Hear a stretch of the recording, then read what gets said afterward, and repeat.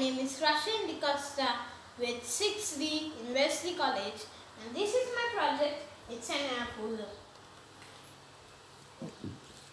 Here you can see how nice it is. And to make this project I've used a battery, some wires, a switch, a motor as well as a fan and a half covered cup and the other half of it to drain water. A plastic plate to make it more attractive for you guys and a metal stand. And I've also used some ice cubes to provide cooler like an AC. Now I'm going to pour some ice cubes.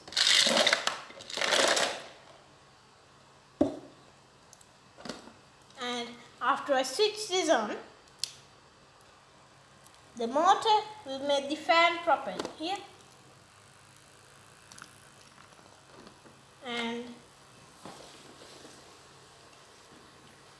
the pressure of the melted ice cubes and the cooler will come out of this cup. Oh yeah, I can feel the sensation. It's refreshing. And after process is done, after a few minutes, from this pipe, water will come down, the excess water will come down of this pipe to this drain.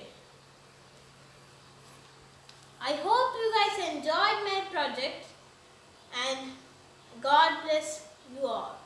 Thank you.